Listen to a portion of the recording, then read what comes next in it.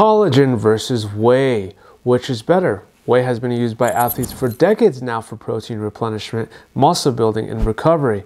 It's the tried and true protein supplement. And collagen is like the new kid on the block. Does it have even better benefits for athletes in muscle recovery, or is it only better suited for hair and skin?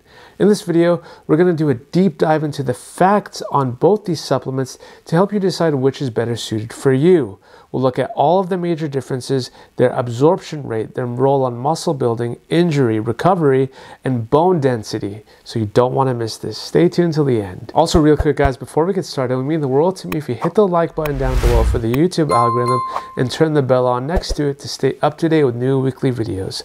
Back in the day, whey used to dominate the supplement aisle. Nowadays, more and more protein supplements have been edging their way onto the shelves, and collagen protein has really been leading this parade. In fact, I made a collagen video that has gotten nearly a million views, which I encourage you to watch after this one. Let's start with the major difference. And before we do so, I've linked below my favorite collagen supplements and whey supplements that you can check out down below in the description. They aren't sponsored links, but affiliate ones to help support the channel if you wish to do so. Now, whey is one of the two main proteins found in milk, the other one being casein.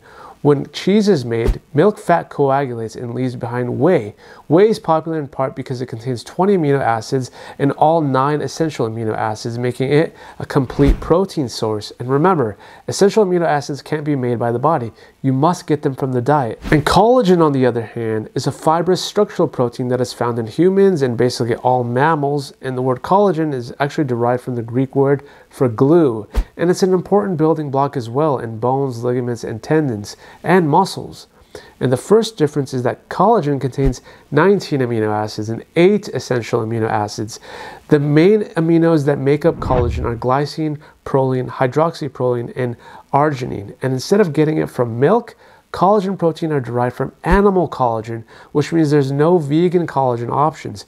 Most companies source their collagen from hides and connective tissues of cows. There is marine collagen too, which for the most part is derived from wild cod. And when compared to bovine collagen, it is said to be more bioavailable and it contains type 2 collagen instead of types 1 and 3. And this diagram does a good job representing each type, and you can see types 1 and 3 do go together, and type 2 is great for cartilage building. Let's talk about absorption. You may have heard that whey protein is absorbed quickly and easily, right? Its absorption rate has been estimated at 10 grams per hour. At this rate, it would take just two hours to fully absorb a 20 gram dose of whey.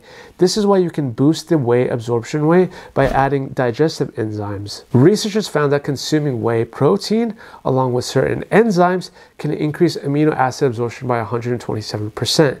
But with collagen, hydrolyzed collagen is already broken down and pre-digested. So that's when it enters the body, it can be easily absorbed and utilized. So for absorption rate, hydrolyzed collagen definitely wins at faster and more efficient absorption, unless of course you take a digestive enzyme with whey. So for this one, I'll give it a very close tie with that caveat. Secondly, for muscle building itself, both whey and collagen helps build muscle after strength training, right? But whey may actually stimulate higher rates of protein synthesis because there's a higher concentration of leucine. And we all know what leucine does to mTOR. It stimulates it and it leads to increased muscle synthesis. But what about collagen muscle building? We have data that demonstrate that compared with placebo, collagen peptide supplementation in combination with resistance training further improved body composition by increasing free fat mass, muscle strength, and loss in fat mass.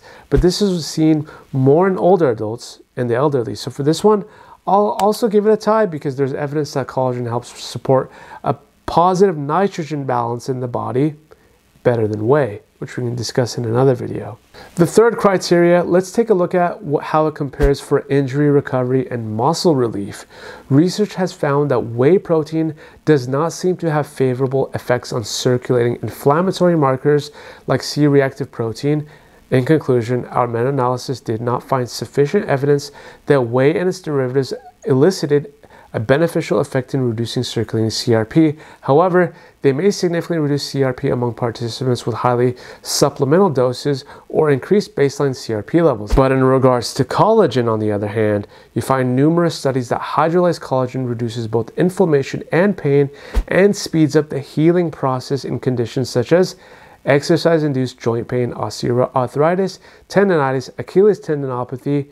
So, for injury recovery and pain relief, the winner goes to collagen, only because of the more evidence based research behind it. And last criteria for bone density.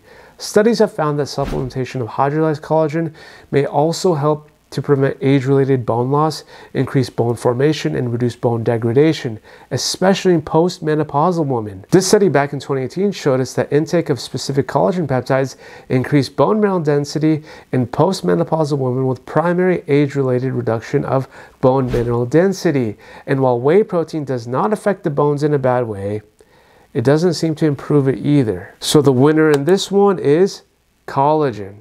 So, does that mean collagen is better than whey protein once and for all? You see, both whey protein and hydrolyzed collagen have their own unique benefits.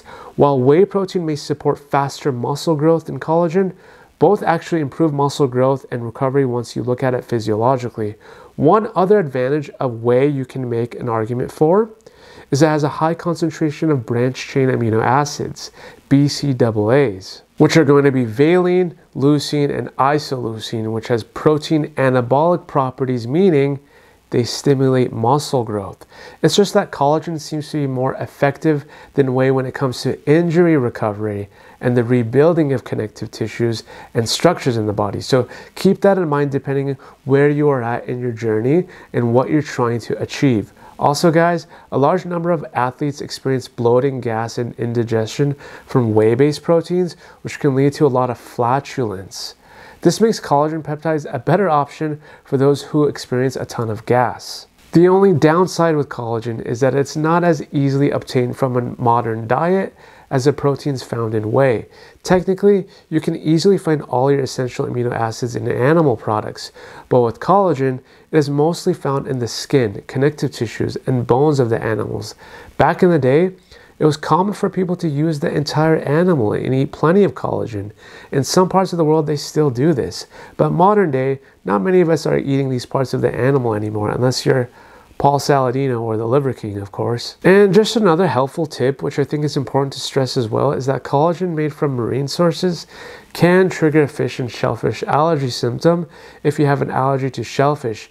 And whey protein isn't really ideal for people with dairy or milk allergies since whey is a component of milk, which I know may be already obvious, but I think it's good to mention as well.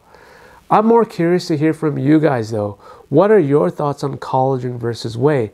Do you like one over the other? Leave them down below. And until then, guys, subscribe if you found this video useful, and I'll see you on the next one.